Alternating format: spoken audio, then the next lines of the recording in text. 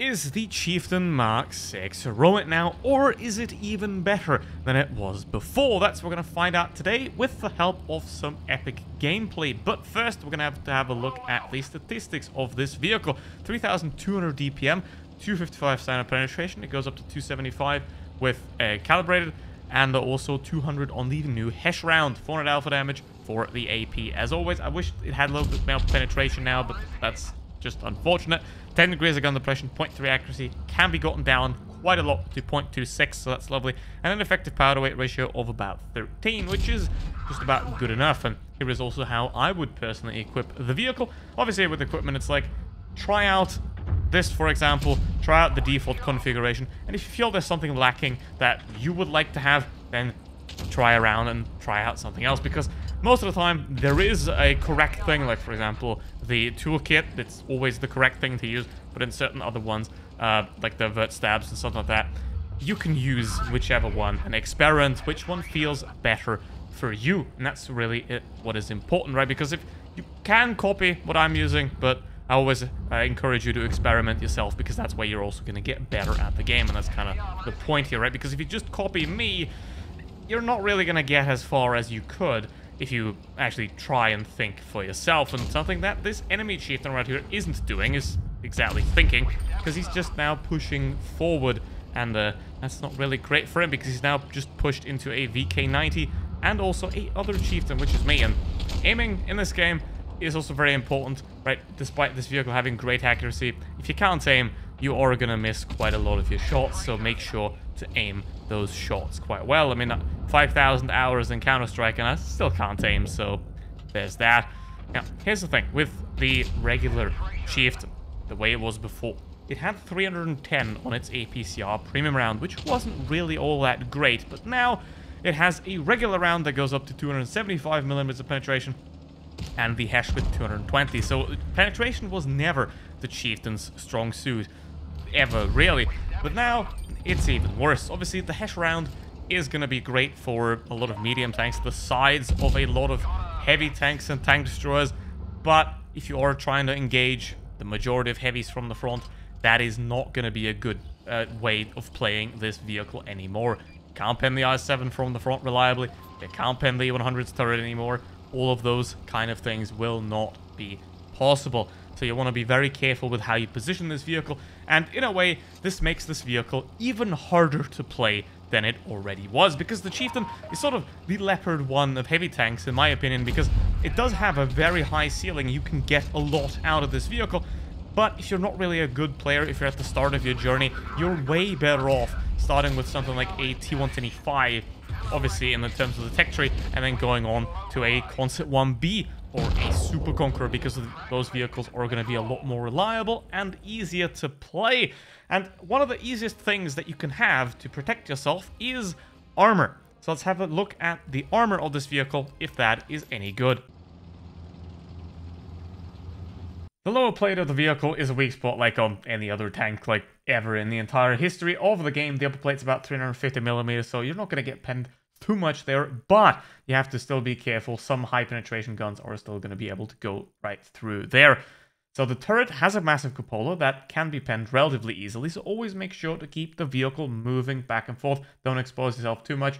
And the rest of the turret, it has spots that are under 300 millimeters, so once again, keep the vehicle moving to avoid being shot in those. But generally, most of the turret is over 300 millimeters thick. Some of them are even 400. Now the side plate is a problem though, because it bends out just like that, which means that if you turn the vehicle to the side, trying to side scrape, means it's going to get a lot thinner and you don't really want that. And thin is also what the rest of the side plates are right there because there's just nothing there on the side. So keep the vehicle frontal towards the enemy or use your 10 degrees of gun depression that you have to play hull down. And in that way, you can also sort of hide the cupola just a little bit. So generally, solid armor, but not great. However, if you know what you're doing, this vehicle is going to perform very well on the battlefield. You have the DPM, you do have quite good accuracy. You've got 10 degrees of gun depression to play a majority of positions in the game. So if you know how to place and position this vehicle well, then you're going to have great results in it. And uh, Here's a, here's a neat little trick, by the way. If you uh, drive up a hill and you don't have quite enough gun depression, try to rock the tank back and forwards a little bit, because that way you can get like a third of a degree gun depression more. So if you need that, but 10 degrees is already plenty right here. And this is Himmelsdorf. This is one of the probably worst maps in the game, in my opinion. Uh, put put down in the comments what maps you would love to never have to see again, because for me it's Himmelsdorf, and New Bay, and also Dionysus Pearl. But put that in the comments. I wonder what everybody hates in terms of maps. Or put down what you love if you don't hate any maps. I don't know. So here's the thing. That guy just rushed forward. I have no idea what he's doing. And what I'm doing here is I'm just not going to rush out there. I'm going to use the Type and the 60 TP as a little bit of cover there because those vehicles do have better and more reliable armor. And the weird thing about the Chieftain is that it's also a weirdly large vehicle. So you're going to have to watch out to not get shot there because the cupola on top of the tank is very massive. So you're to have to watch out.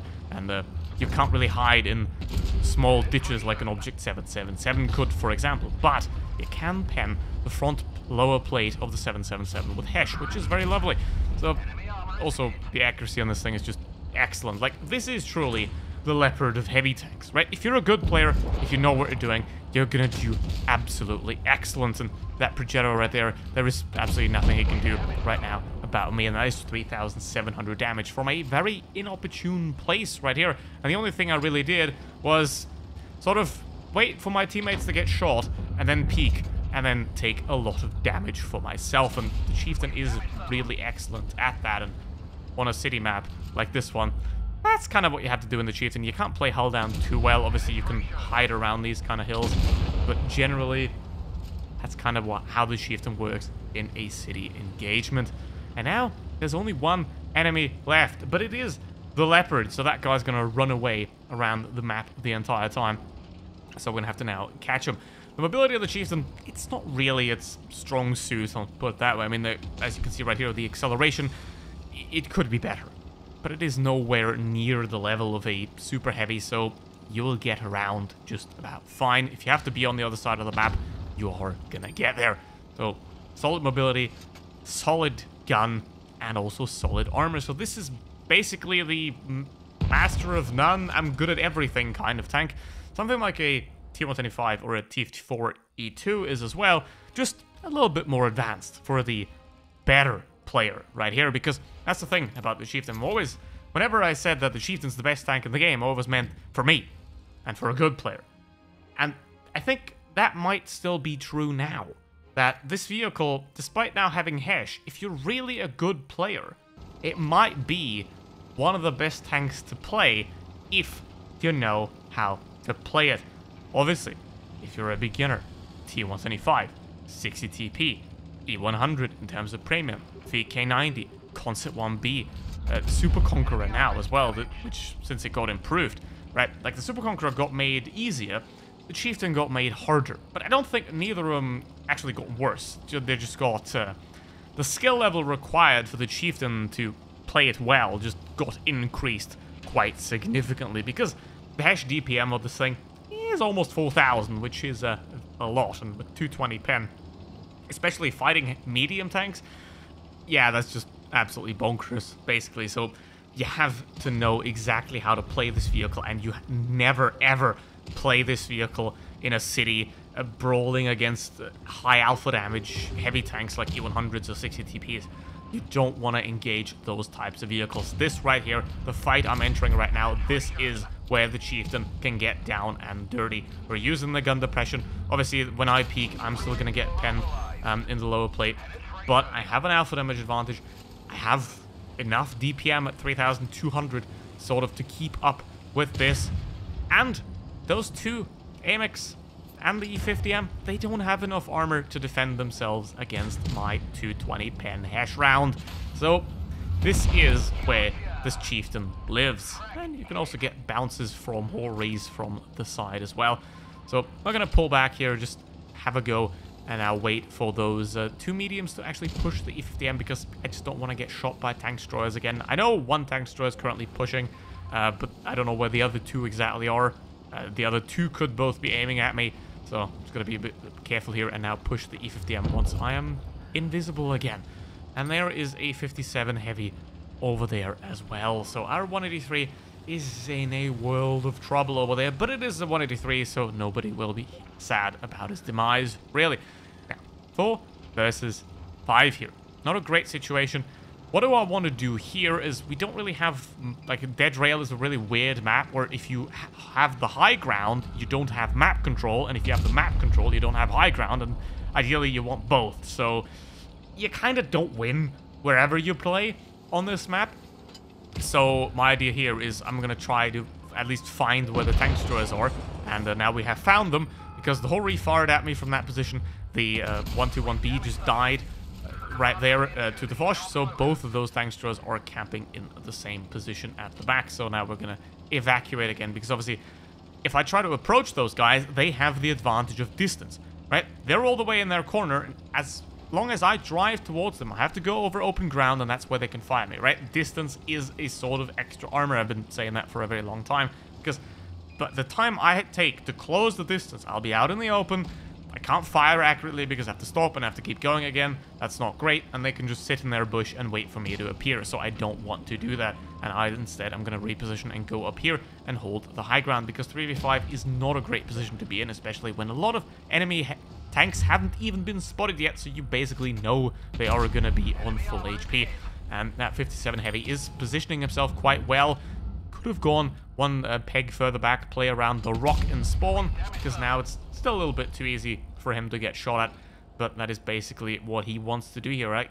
S surround the team from all sides, ideally have the Foch, the Hori, come up behind, and then surround us three up here. That is the perfect course of action for the enemy team to do here, and that's what we're going to have to try to avoid, right?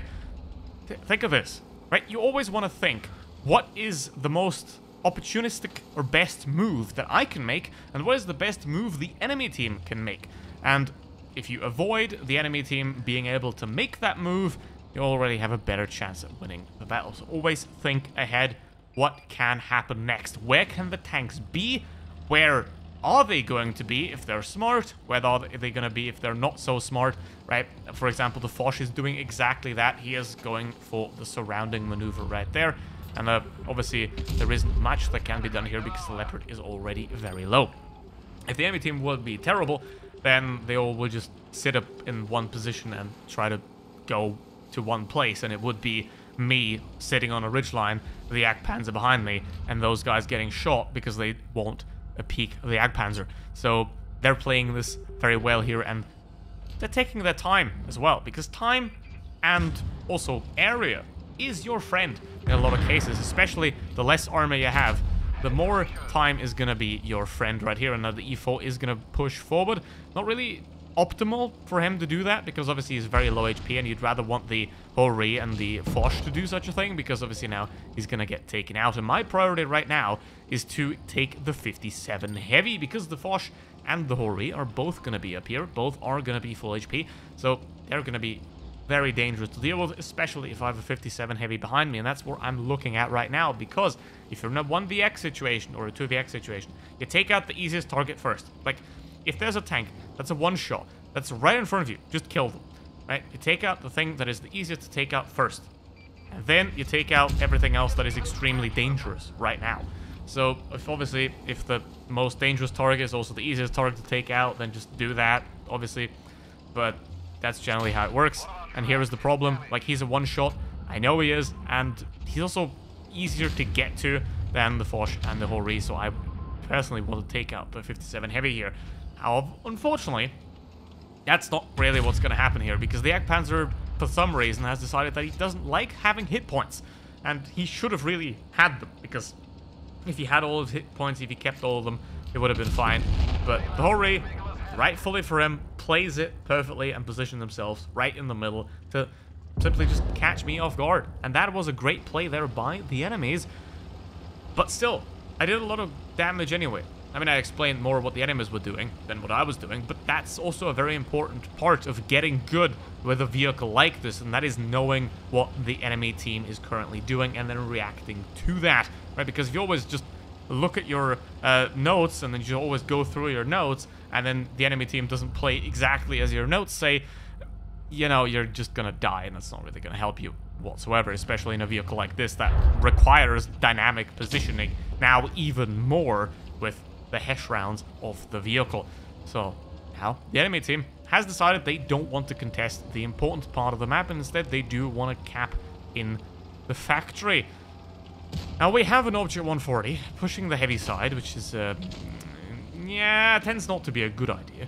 So most of the time, but uh, it can be a good idea if your entire team pushes straight through and then takes map control, because this, this is the problem of heavy side, right?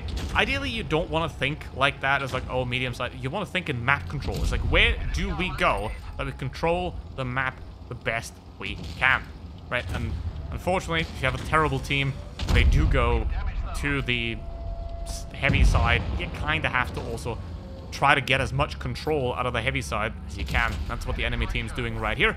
They're trying to take map control, sort of, by taking the capture circle, but I'm not really bothered with that right now. I'm more bothered with this newly buffed IS-4. Obviously, with the heat HESH rounds, I have no chance of attacking him whatsoever. But the 183, obviously, he's a lot bigger threat than the IS-4, so I'm going to pull back here. And he gets finished off by the Progetto. Now, this IS-4 here, he's isolated, and you'll see that all the time, what I'm doing, right? I'm never gonna just jump in there and fight three tanks at the same time. I'm always gonna pick myself an enemy that's currently away from the bulk of the enemy team, and I'm gonna fight that one enemy alone, because that's the easiest way to get high damages if you're just fighting one guy and you're winning. And uh, especially now with the Progetto also distracting the IS-4, I could just jump over here and take a shot at him right there. Obviously, I have to watch out for the Carro, but that's gonna be just fine. And again, the Progetto gets finished off by the IS-4, but I'm on his side, and the best thing that he can do now is wait to die. So basically, the Chieftain, is it better now? I wouldn't say so. It's definitely not better. Is it worse? Mm, if you're a really good player, no. For the average player, this is definitely going to be a massive downgrade. But if you're a really good player, I think results with this thing are going to feel quite a lot better in the future. So overall, it got worse for the average player, but I think it kind of stayed the same for the good players.